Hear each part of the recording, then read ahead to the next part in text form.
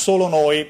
Allora, abbiamo una ventina di minuti per queste lezioni di primo soccorso, di, di pronto soccorso, ne approfitto, visto che parliamo di Salone del Libro, perché eh, questa guida eh, viene presentata proprio oggi al Salone del Libro dalle 10.30, cioè praticamente da adesso fino alle 15.30, dove Simone? Eh, presso il padiglione presso lo stand di Idea Solidale, che è il centro servizi che si occupa appunto di seguire le associazioni di volontariato nei loro progetti e quindi di dare un supporto sia logistico sia tecnico eh, appunto a questi progetti di dimensioni anche ragguardevoli come questo. Questa guida, questo Vademecum Prevenzione Rischi Sanitari e Formazione Primo Soccorso è un corso gratuito per studenti delle scuole medie e superiori e per l'università, manuale per studenti per saperne di più, poi in realtà eh, il corso sarebbe utile che lo facessero anche gli adulti.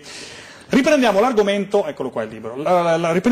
della volta scorsa, BLS che sta per supporto di base delle funzioni vitali. Ricapitoliamo un po' le puntate precedenti, abbiamo anche il nostro video, la direttrice di produzione Luciana Salato provvederà ovviamente a mettere i punti salienti del video. Eh, gli obiettivi della BLS, Stefania? Sì, riprendiamo quello detto la volta scorsa, eh, obiettivo del BLS è ossigenare cervello cervello e cuore affinché eh, le cellule cerebrali non muoiano, cosa che accade molto velocemente dopo che eh, è presente un arresto cardiocircolatorio in una persona, per cui eh, con quello che abbiamo visto l'altra volta in puntata andare a fare la ventilazione artificiale in un paziente che non sta respirando e andare a fare il massaggio cardiaco in un paziente, in una persona in cui il cuore non sta battendo. Per cui facciamo queste due manovre massaggio cardiaco alternato alle ventilazioni per andare proprio a supportare le funzioni vitali che eh, sono coscienza, respiro e circolo come appunto già detto la volta scorsa e eh, proprio per andare a prevenire i danni che si possono avere a causa della mancanza di ossigeno alle cellule cerebrali, danni che avvengono nei primissimi minuti eh, dopo appunto un arresto cardiorespiratorio. Questo è un esempio, allora, eh, un gruppo di amici a tavola eh, secondo me qualcuno tra un po' si sentirà poco bene, no? perché magari dopo mangiato si mangia di fretta, succede, addirittura d'estate quando si bevono delle bibite troppo fredde, esatto. troppo ghiacciate, si rischia un malore. Vedete Stefania nella parte eh, dell'attrice, possiamo sentire anche l'audio, dai che lo sentiamo. Eh, io vi aspetto qui, eh? Mi raccomando, non ti muovere. No, no, non mi muovo, non mi muovo.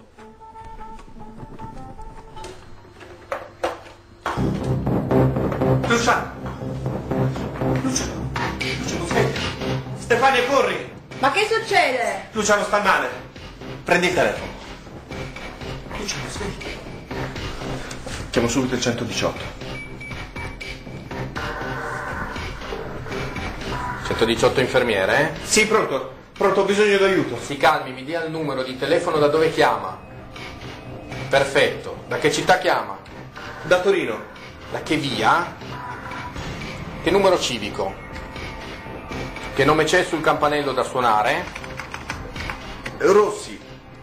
Perfetto, cosa sta succedendo? Il mio amico Luciano si è sentito male, è per terra, non risponde. Adesso è vicino a lui? È cosciente? No, no, non è cosciente. Ok, adesso si avvicini a lui, chiamandolo ad alta voce, scuotendolo da una spalla. Mi dica se risponde. Luciano, Luciano! Non risponde, sembra morto. Correte, per favore, correte. 920 920 da Tango 0. Avanti per Tango 0, cambio. No, 920 c'è un servizio per voi se puoi prendere nota. Ricevuto, via nazionale. Ecco, abbiamo visto qua, abbiamo seguito in doveroso silenzio questo episodio, continuiamo pure a vedere le immagini perché a quel punto eh, c'è la segnalazione all'ambulanza che parte in soccorso.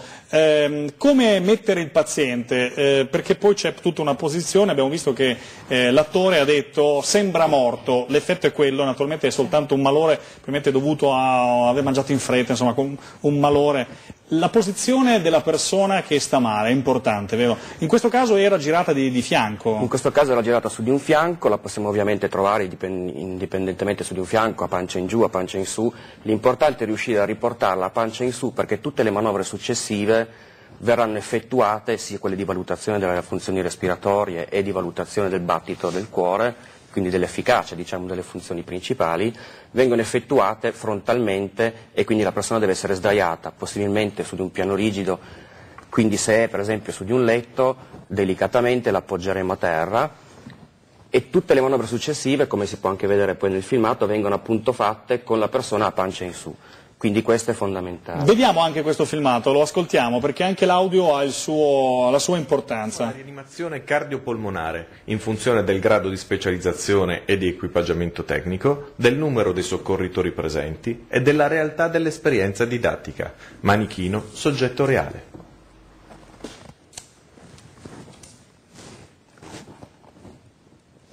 Ecco, abbiamo visto il manichino che abbiamo avuto nostro ospite nella scorsa puntata, eh, ci sono tecniche ben precise, ne parleremo, ne parleremo ancora, bisogna seguire eh, le istruzioni del 118 proprio come ha fatto anche il protagonista del video. Questa è la nozione generale, Eh, ci sono però casi particolari in base a traumi, annegamenti, ci sono alcuni casi che richiedono particolari tecniche. Esatto.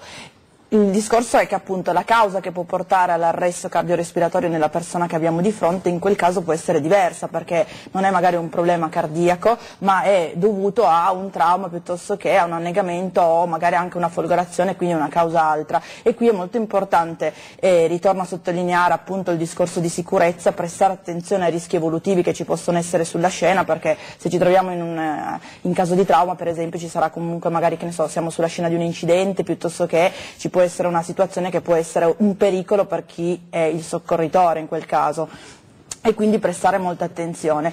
E dopodiché le tecniche cambiano perché per esempio in caso di trauma certe manovre non le andiamo a fare e quello che è importante ricordarsi in questo caso è comunicare al 118 eh, proprio quando si fa la chiamata, una delle primissime cose che vanno dette è se il paziente ha subito un trauma, quindi coinvolto un incidente, una caduta o quant'altro, oppure è stato trovato in piscina piuttosto che insomma una di queste situazioni che invece cambiano poi le informazioni che vengono fornite perché certe manovre non si possono effettuare. Voi quando accorrete eh, con l'ambulanza eh, avete il maggior numero di dettagli possibili in modo da organizzare già, sapere già quello che fare istantaneamente quando arrivate sul posto? Sì, perché comunque l'operatore, in questo caso l'infermiere del 118 che si occupa di fare la valutazione con la persona che sta chiamando, eh, resta continuamente al telefono per, ricevere, per recuperare insomma, la maggior parte di informazioni possibili sulla causa piuttosto che sul problema di salute della persona, per cui noi andiamo, siamo inviati sul luogo del, diciamo, del, dell'urgenza.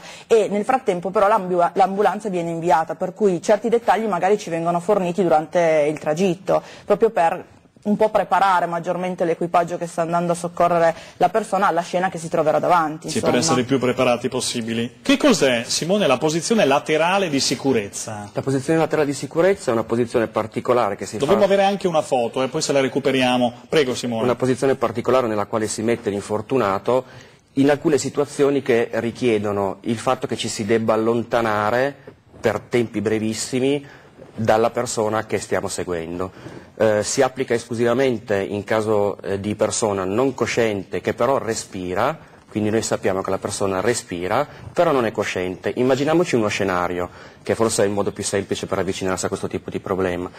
Eh, in casa, fuga di gas, due o tre persone che contemporaneamente possono avere un problema, quindi perdono coscienza, ci avviciniamo alla prima, controlliamo se la persona eh, respira, vediamo che non è cosciente, controlliamo se respira, dobbiamo però chiamare il 118, allontanarci magari per controllare altre persone all'interno dell'appartamento. E quindi in questo piccolo breve lasso In di questo tempo... piccolo breve lasso di tempo viene posta su di un fianco sostanzialmente in una posizione che però eh, rende stabile, rende molto stabile eh, la persona che non, che non è cosciente, eh, mantiene la testa iperestesa, che è una cosa che abbiamo visto l'altra volta insieme a Stefania e a Cristina, che è fondamentale per poter respirare bene. Quindi questo ci consente di allontanarci, ma per 30 secondi, un minuto, giusto il tempo di andare a recuperare il telefono piuttosto che vedere se c'è qualcun altro che sta male e che cos'ha, e poi si torna immediatamente alla persona non cosciente, perché probabilmente è quella che dobbiamo seguire con più attenzione.